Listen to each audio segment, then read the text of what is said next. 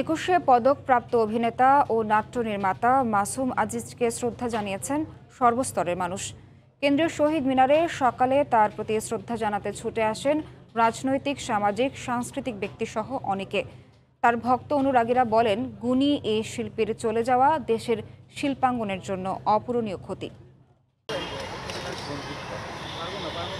কর্মজীবনে কেন্দ্রীয় শহীদ মিনারে এর আগেও তিনি বহুবার আসেন, কিন্তু এবার তিনি এলেন শেষবারের মতো।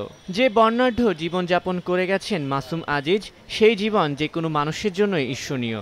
অভিনয় দিয়ে একই সঙ্গে যে মানুষ মানুষকে হাসিয়েছেন, কাঁদিয়েছেন, সেই মানুষ আজ নিথর। মাসুম আজিজকে শ্রদ্ধা জানাতে কেন্দ্রীয় শহীদ মিনারে ছুটে আসেন সর্বস্তরের মানুষ। সাংস্কৃতিক ব্যক্তিত্ব, সামাজিক সংগঠন তো বটেই, হাজির হয়েছিলেন রাজনীতিবিদরাও। মঙ্গলবার বেলা এগারোটা থেকে সাড়ে বারোটা পর্যন্ত শহীদ মিনারে ফুলেল শ্রদ্ধায় সিক্ত হন মাসুম আজিজ। এই সময় তার ভক্ত গুণগ্রাহী ও সতীর্থরা বলেন একজন মাসুম আজিজের চলে যাওয়া বাংলার সাংস্কৃতিক আকাশের একটি নক্ষত্রের পতন। সব কিছু মিলে উনি এমন একটা ব্যক্তিত্ব ছিলেন যে ওনার চলে যাওয়া মানে আমাদের সাংস্কৃতিক জগতে একটা বিশাল শূন্যতা তৈরি হবে। আমার খালি একটাই চোখে লাগে ওনার সাথে দেখা হলে ওনার হাতটা মাথায় রাখতেন। মানে আমার মনে হতো ওখানে আমি তার আশীর্বাদ পেয়ে গেছি। তারা বলেন তৃণমূল থেকে যে নাট্যজন গড়ে উঠেন তাদের জন্য অনুসরণীয় হতে পারেন মাসুম আজিজ। তাই তো তার চলে যাওয়ায় চোখের পানি বাঁধ মানে না। সাংস্কৃতিক ব্যক্তিত্ব ও রাজনীতিবিদ আসাদুজ্জামান নূরও আসেন শ্রদ্ধা নিবেদন করতে। মাটি থেকে ওঠা উঠে আসা একজন মানুষ।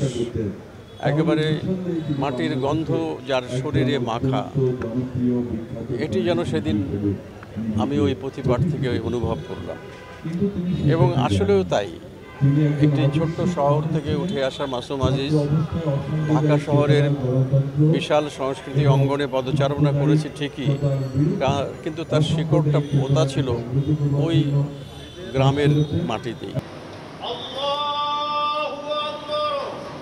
শ্রদ্ধা নিবেদন শেষে দুপুরের দিকে মরদেহ নেওয়া হয় ঢাকা বিশ্ববিদ্যালয়ের কেন্দ্রীয় জামে মসজিদে। বাদ জোহর, জানাজা শেষে গ্রামের বাড়ি পাবনার পথে রওনা দেয় মাসুম আজিজের লাশবাহী গাড়ি।